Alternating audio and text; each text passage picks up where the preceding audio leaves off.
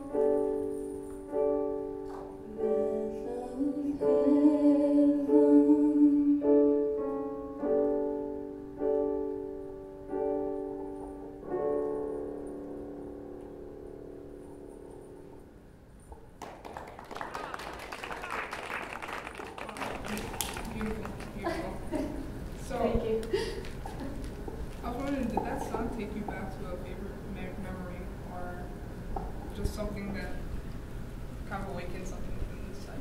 Yeah, actually did quite a bit um, when I was little, um, maybe like six or seven.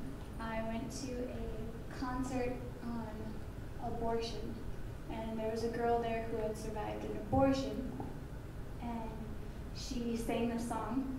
And when she sang it, um, I was up on my dad's shoulders. It was like an old-fashioned concert, and everyone was standing around, and everyone just got like silent and she captivated the audience.